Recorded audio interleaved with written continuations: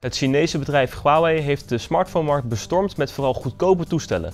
Nu gooit het bedrijf over een andere boeg, want deze Mate S kost maar liefst 649 euro.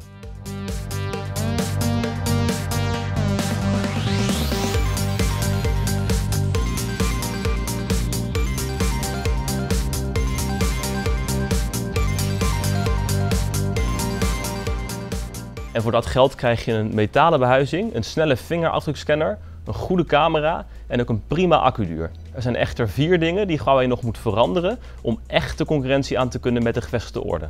We beginnen met de behuizing. Die is gemaakt van geborsteld metaal. Dat ziet er mooi uit, het voelt ook stevig aan, ligt goed in de hand en hij is ook niet dik. Dus wat dat betreft geen klachten. Het ontwerp is echter wel een beetje gekopieerd van de iPhone 6 en de HTC One serie. Het is jammer dat Huawei niet echt een eigen ontwerp heeft gekozen, want dat zie je toch eigenlijk steeds meer gebeuren bij de concurrenten zoals LG, Samsung en HTC. Ook de software lijkt deels gekopieerd te zijn. Huawei heeft dingen overgenomen van eigenlijk alle concurrenten. Dit zijn wel de beste onderdelen van hun software, maar gecombineerd zorgt het toch niet voor een handig systeem. Bovendien gebruikt Huawei best wel een lelijk jasje, waardoor bijvoorbeeld app-icoontjes aangepast worden en er niet meer mooi uitzien. De vingerafdrukscanner op de achterkant werkt heel snel en goed. Hij herkent eigenlijk altijd wel goed mijn vinger. Alleen die positie op de achterkant is niet handig.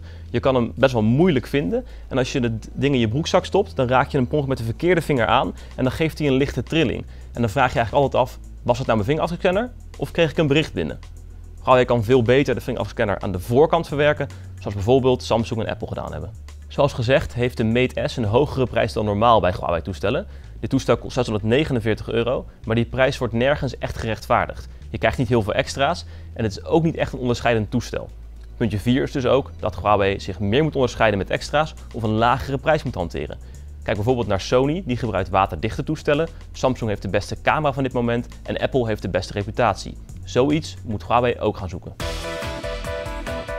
Ondanks deze verbeterpunten is de Mate S zeker geen slecht toestel. Het heeft een goede behuizing, een prima camera, een lange accuduur, een mooi scherm, een snelle vingerafdrukscanner. Alleen nergens blinkt het toestel echt in uit. En voor een prijs van 649 euro moet je dat wel doen, omdat je nu echt concurrentie aangaat met alle andere vlaggenschepen.